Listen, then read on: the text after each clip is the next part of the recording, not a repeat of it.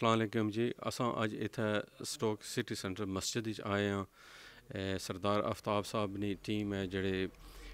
vaccination organisation गी aware वास्ते उन्हें कंपेन चलाई है तो उसने नाल असां उनेंगी सपोर्ट करने वास्ते इत्थै आए हाँ तो अपने दोस्तों भैन भ्रा गी जेह्ड़ी असां कम्युनिटी है असां उनेंगी इ'यै मैसेज देने आं कि प्लीज़ जेह्ड़ा ना तुसें थर्टी जून तो पैह्लें पैह्लें जेह्ड़ियाँ अगर तुसें वैक्सीन वैक्सीनेशन अपनी कंप्लीट नहीं कीती ऐ उसी कंप्लीट करी गिनो कोविड नाइनटीन स्टिल जेह्ड़ा ना ओह् कम्युनिटी बिच अग्गें पिच्छें अलाइव ऐ बंदे स्टिल जेह्ड़ा ना उस ने बमार होने न ते इ'यै असां अपनी कम्युनिटी गी दोस्तां यारां भैनां भ्राएँ गी असां रिक्वेस्ट करने आं कि अगर उ'नें अपनी वैक्सीन नहीं कंप्लीट कीती ऐ उसी करी गिनन उस तो अलावा असां कम्युनिटी जेह्ड़े बच्चे न